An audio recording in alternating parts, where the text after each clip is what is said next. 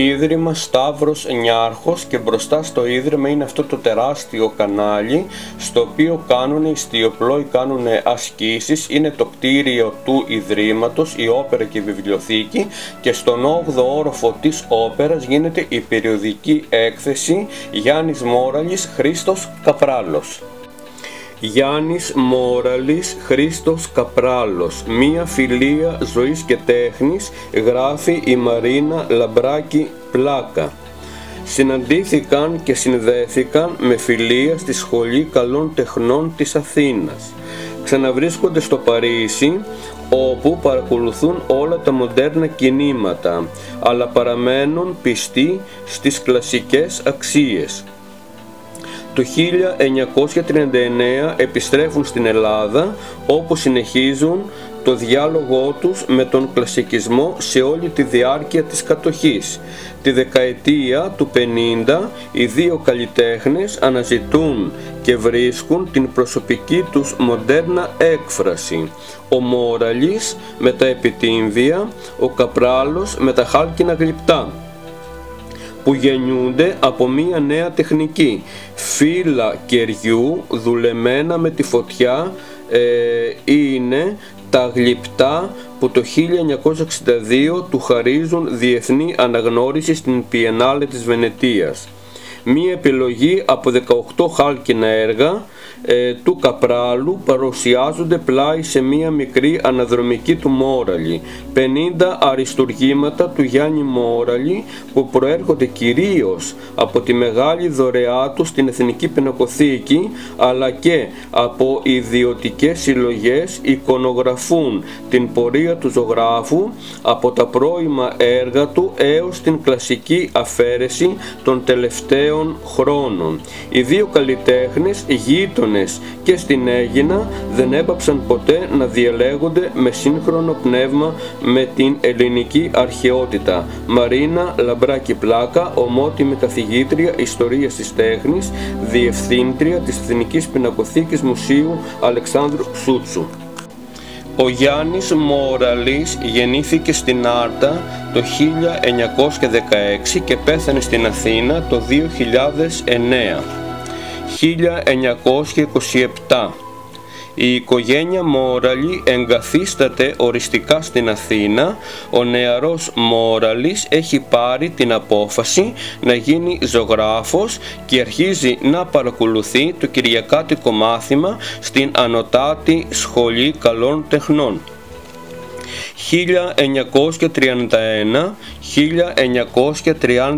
1931-1937 προετοιμάζεται για τις εισαγωγικές εξετάσεις στην Σχολή Καλών Τεχνών, επιτυγχάνει και εγγράφεται στο προπαρασκευαστικό τμήμα με καθηγητή τον Δημήτριο Γερανιώτη. Γνωρίζεται με τον Γιάννη Τσαρούχη και τον Χρήστο Καπράλο και ξανασυναντά ε, τον Νίκο Νικολάου. Είναι μεταξύ των σπουδαστών που ο Κωνσταντίνος Παρθένης επιλέγει για το εργαστήριό του. Ο ίδιος ωστόσο θα προτιμήσει να εγγραφεί στο εργαστήριο του Ουμπέρτου Αργυρού. Επίσης παρακολουθεί το νέο εργαστήριο χαρακτικής ε, του Γιάννη Κεφαλινού. Από την Σχολή Καλών Τεχνών ε, αποφυτά το 1936. Ε, τον επόμενο χρόνο πεθαίνει ο πατέρας του σε τροχαίο ατύχημα. Τον Ιούνιο ο, της ίδιας χρονιάς αναχωρούν για τη Ρώμη με τον Νικολάου. Θα μοιραστούν την υποτροφία που κέρδισε ο Μόραλης στον διαγωνισμό της Ακαδημίας Αθηνών για σπουδές ε, ψηφοθετικής στο εξωτερικό. Στην Ιταλία θα μείνει μέχρι τον Νοέμβριο του 1937, οπότε και εγκαθίσταται στο Παρίσι. Παρακολουθεί μαθήματα ζωγραφικής κοντά στους μεγάλους ζωγράφους για τυχογραφίες.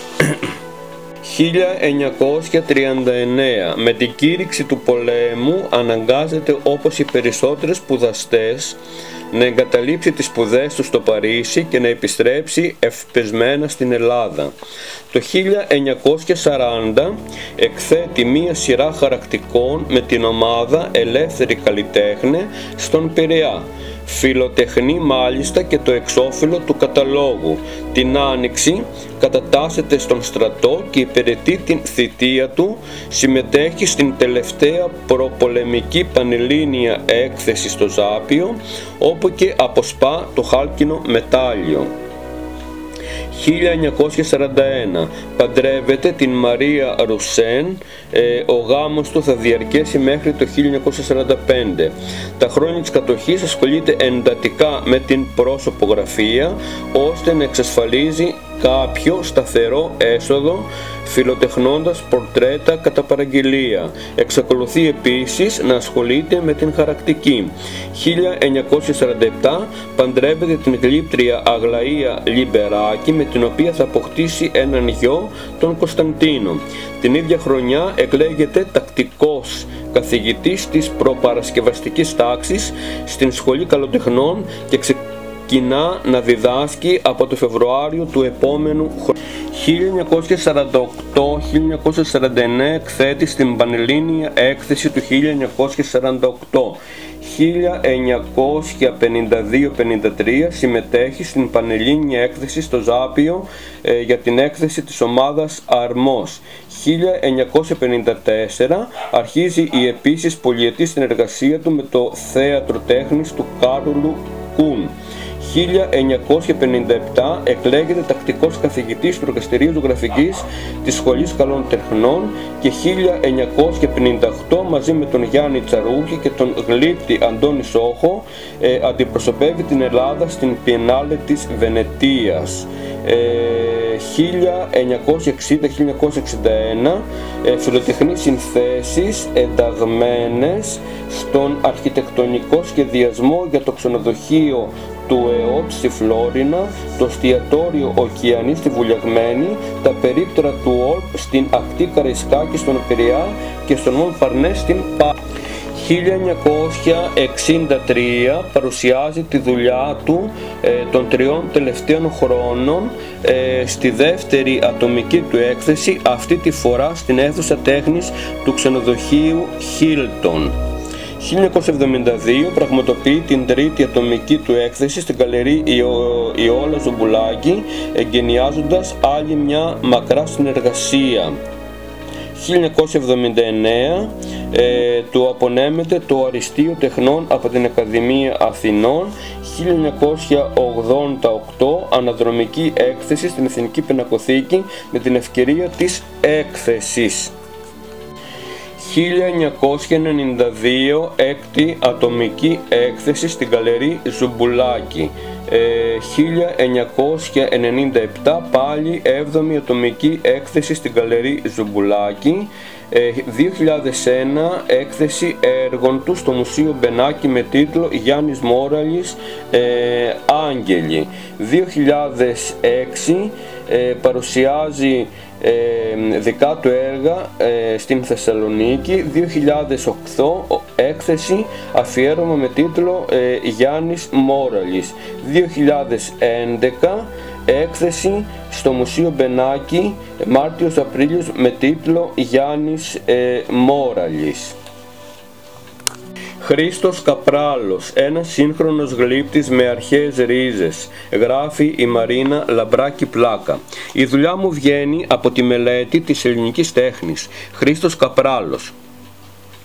Ο Χρήστος Καπράλος είναι μια επιβλητική, μια εμβληματική μορφή στην ιστορία της σύγχρονης ελληνικής γλυπτικής επιβλητική γιατί μας επιβάλλεται με το μέγεθος και την ποιότητα του έργου του. Εμβληματική γιατί ο βίος και το έργο του σηματοδοτούν μια πορεία υπέρβασης που συνοψίζει την μοίρα του νεοέλληνα. Ο Χρήστος Καπράλος γεννήθηκε το 1909 και πέρασε τα παιδικά του χρόνια στο Πανετόλιο ένα χωριό κοντά στο Αγρίνιο.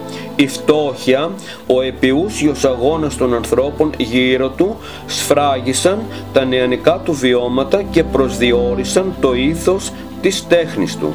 Σπούδασε ζωγραφική στη Σχολή Καλών Τεχνών της Αθήνας το 1929-1934 και γλυπτική στο Παρίσι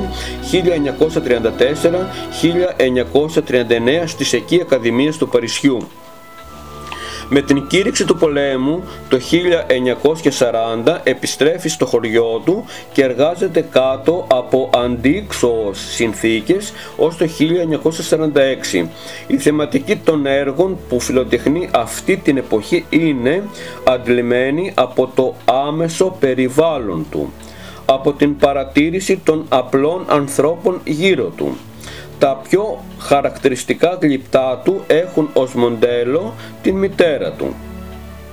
Με δραστικές απλοποιήσεις πυκνώνει τη μάζα, οργανώνει τους όγκους με καθαρά επίπεδα, σχηματοποιεί και φτάνει σε μια αρχέτυπη μορφή που θυμίζει την προκλασική πλαστική του αυστηρού ρυθμού. Αν μπορούσαμε να πούμε ε, από τι γίνεται ένα έργο τέχνης γλυπτικό γράφει ο γλύπτης, θα σας έλεγα ότι τρία είναι τα στοιχεία που εμπεριέχει ένα έργο τέχνης.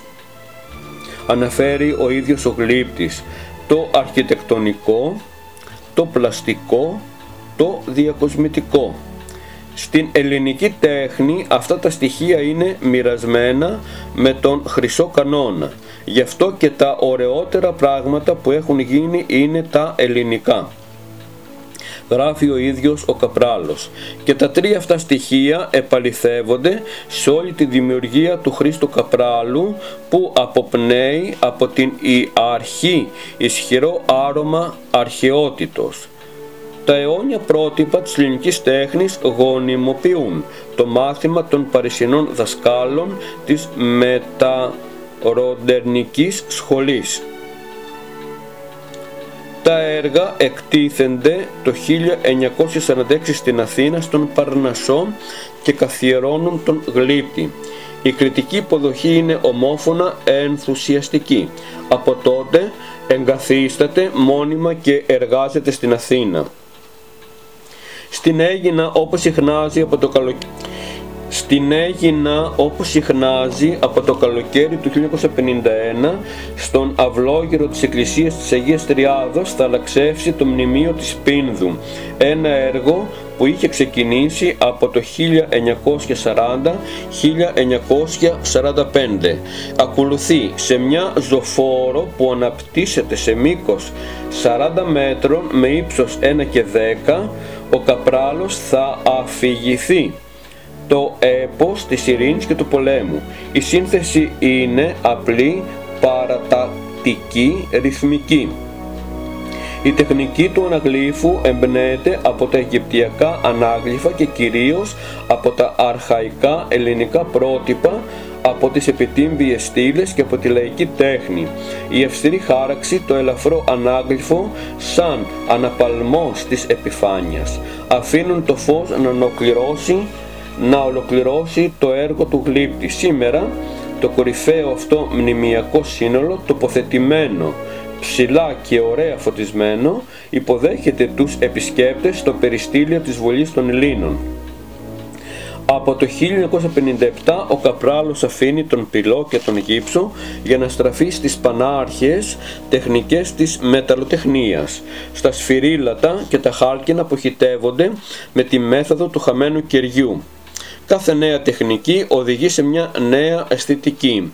Τα σφυρίλατα επιβάλλουν τονισμένα περιγράμματα, οικονομία στο σχέδιο, σχηματοποίηση, ξεκάθαρος πυκνούς όγκους. Τον ίδιο καιρό ανακαλύπτει με δική του μια δική του νέα μέθοδο. Δουλεύει τις μορφές του απευθείας σε φύλλα κεριού, γουταπέρκας, με την βοήθεια της φωτιάς πλάθοντάς τες ε, και από έξω προς τα μέσα και από τα μέσα προς τα έξω. Οι συνθέσεις του αναπτύσσονται τώρα με τοπικά. Η φωτιά πλουτίζει τις επιφάνειες με επεισόδια που συμπληρώνει ο γλύπτης επεμβαίνοντας πάνω ε, στο μαλακωμένο κερί με τα χέρια του. Το θέμα του κυριαρχεί είναι ο άνθρωπος. Νίκες αρχαίοι οπλίτες, μητέρες με παιδιά, ζευγάρια, καθημερινές σκηνές. Το ανθρώπινο σώμα γίνεται το κύριο εκφραστικό όργανο του γλύπτη. Κεφάλια και μέλη απλώς υποβάλλονται με τις συνοπτικές φόρμες πλάι στον άνθρωπο. Ε, το μόνο ζώο που τον συντροφεύει είναι το άλογο. Στοιχείο και αυτό κληρονομημένο από την ελληνική παράδοση από τον καιρό του ξενοδοχείο Χίλτον Αθηνών. Οικοδομήθηκε μεταξύ των ετών 1958-1963. Ε, η εξωτερική κυρίως μορφή του παρουσιάζει κάποια προτυπία χάρη στη σύνθεση που επιδιώχθηκε ανάμεσα στο μοντέρνο και το κλασικό, ενώ η χρήση του πεντελικού μαρμάρου και οι μνημειώδεις ανάκλυφες συνθέσεις του ζωγράφου Γιάννη Μόραλη με την αρχαϊκή τους θεματολογία επιχειρούν να δώσουν μια ελληνική πινελιά. Η βασική επιτυχία από αρχιτεκτονικής πλευράς συνίσταται στο στήσιμο ενός περίεπτου κτηρίου αξιώσεων σε ένα δύσκολο οικόπεδο, όπου ο κύλος άξονας και άλλες λύσεις που επιλέγησαν καταφέρνουν ως ένα βαθμό να μειώσουν την ακαμψία του όγκου. Ε, η όλη εξωτερική ε, στην επιφάνεια του κτηρίου ο σχεδιασμός είναι του Γιάννη Μόραλη με το αρχαϊκό ε, θέμα του.